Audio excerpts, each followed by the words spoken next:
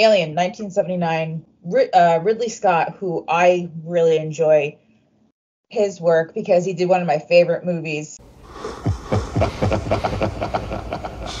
We are all, we are all animals, animals, animals, animals. I like his direction. I like the camera work in this movie. It's from Yeah. 1979, but I still feel like it holds up with the. It just keeps you wanting more. It leaves little tidbits and little tidbits, little little Easter eggs. That's right.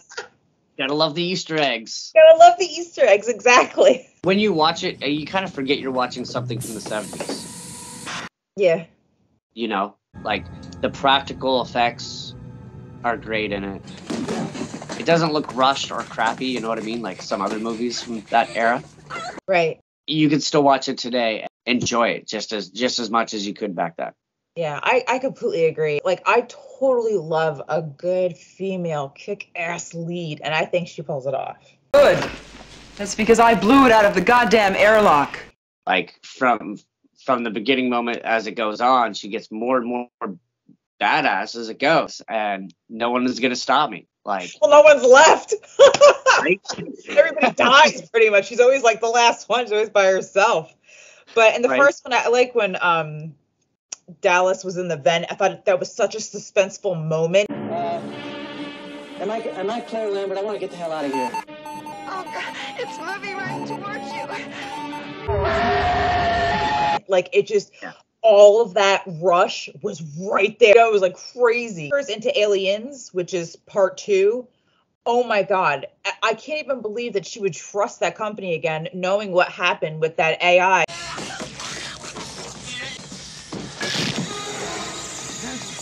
like why would you like maybe she per like purposely said you know what i know what they're gonna do but i i know what to do so well, she told you know, Paul Reiser, he he acts like he's a good guy in the beginning, but then Yeah. you find out he's a fucking snake.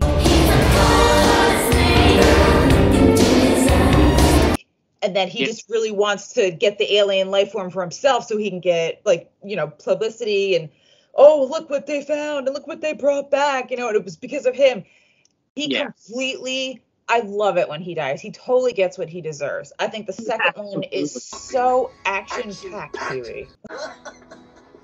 But I think the sequel is just amazing. So much action in it. I feel, and I've noticed, and I could be wrong, but I swear, like the score for this film, to me, it sounded very similar to The Shining.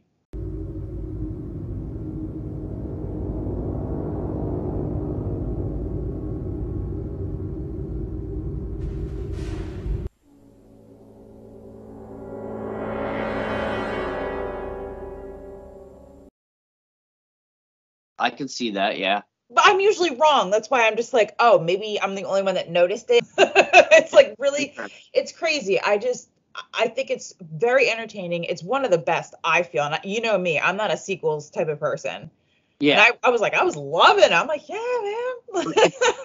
one of those few sequels that kind of surpasses the original which does not happen very often um and i think james cameron doing the second one did a fantastic job with that even though they're very to, to me almost very similar they almost feel like you could watch them as one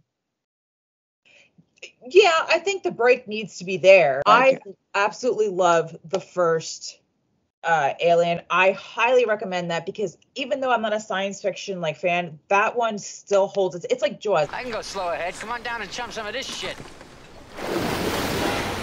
It has the same. Like you could still watch it. It's so dated, but it's still entertaining, and you can thank the directors for that. Yeah, well, I mean, the, the, for sequels, they always kind of amp it up a bit more, and I think they, like I said, you know, James Cameron did a fantastic job amping up Yeah. the second one, um, especially the big opening scene. I mean, it's fairly on early in the movie when they, when all the uh, like soldiers go in and instantly start fighting.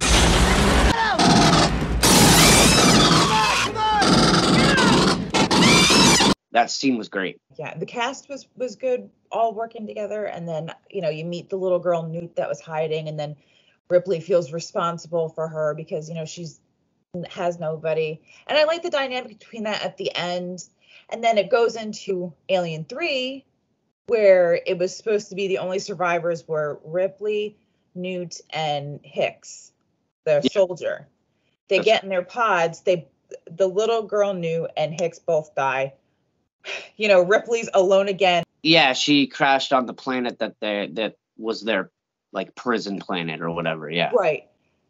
I still thought that even though the graphics are terrible, Yeah. unless it's a close up of the alien's face, which is so that epic shot of the alien next to Sigourney Weaver's face.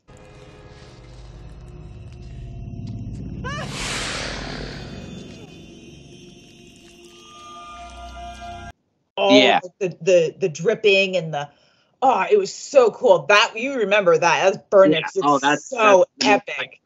Part from that movie. Yeah, but other than that, the graphics were awful, and the story was good. They just didn't need the crappy graphics. If they go, I mean, Oh, yeah. George Lucas changed Star Wars like every four years. Have them go back and just insert something better. Like take out those shots and, and redo them. There, it would have been fairly easy for them to do so. yeah, Uh, probably would. how bad those aliens looked running on the ceiling.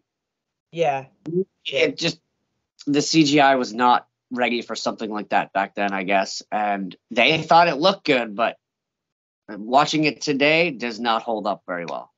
I will say that the creation, the the the imagination to make the detail that is instilled you know, it sucks onto their face. And it looks so disgusting. It makes the sound effects. It's like so good. It's like it's like oh my god, it's so detailed and it's like so gross, but it looks so cool. Yeah. Especially that iconic scene where we first see the first alien xenomorph born coming out of Buddy's chest. Oh,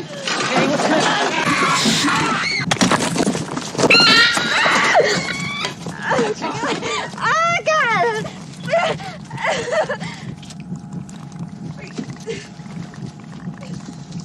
Right. We've seen that in other movies as comedy parodies, but Baseball. Oh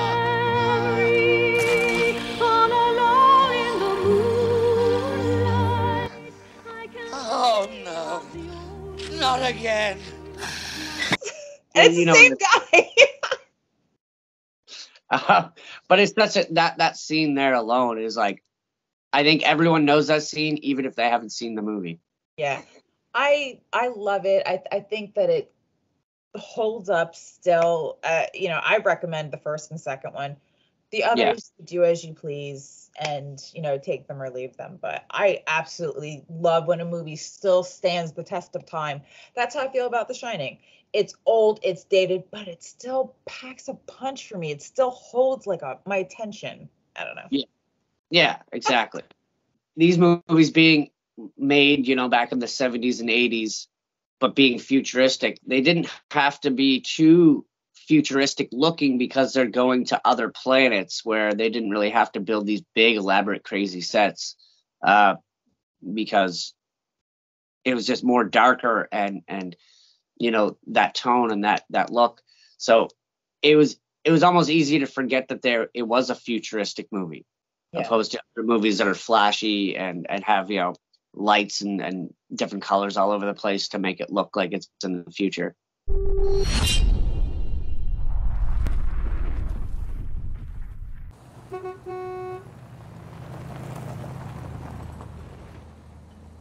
How in the hell did a big money scribbling asshole like you get down to a little shit splat town in Mississippi and steal my goddamn story? Drop it.